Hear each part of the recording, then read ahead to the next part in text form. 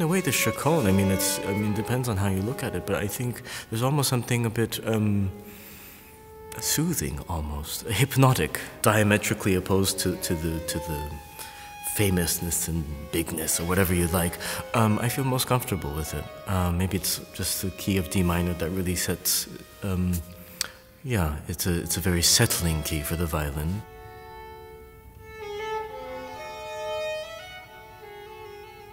in its essence, you have a bass line that repeats over and over again throughout the entire piece. And this bass line appears actually in the first couple of bars of, of all four um, of the movements. And so there is definitely a link.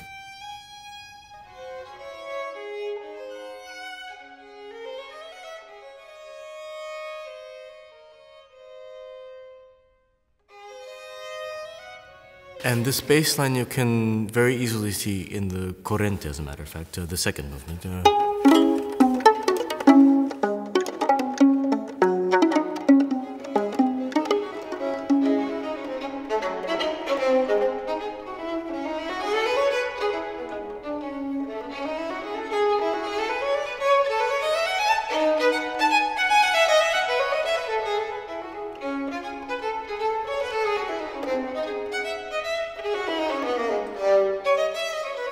And then, of course, he develops in a com completely entirely different way. Or, uh, again, the allemande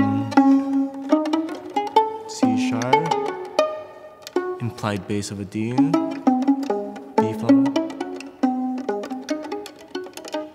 So, and then um, even more elaborate is um, the saraband, uh, the third movement. So, C sharp again, and then and then D. Then he deviates a little, but comes back ultimately to the G.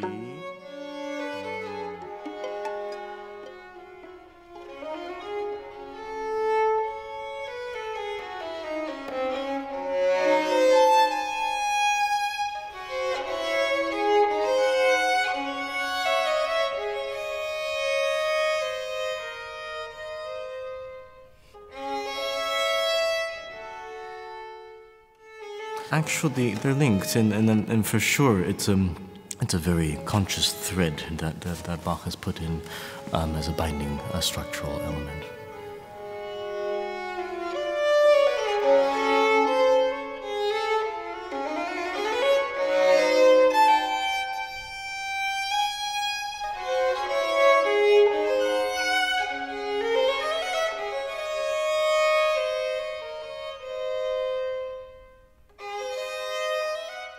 You really do, as a listener, also, you start hearing a scale of music that um, that completely, uh, yeah, is paradoxical to, to just this one violinist standing there.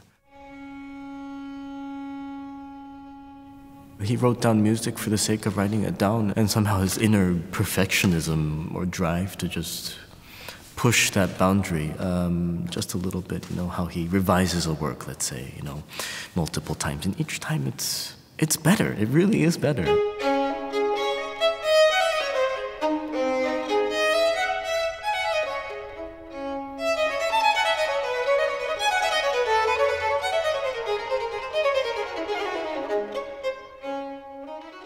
But any of the six, um, and also again, who was it written for? I mean, was it written just as a, a, a, an exercise, or was it written for? I mean, we don't know, and so that that also even in the historical, out of a historical perspective, it leaves the question completely unanswered.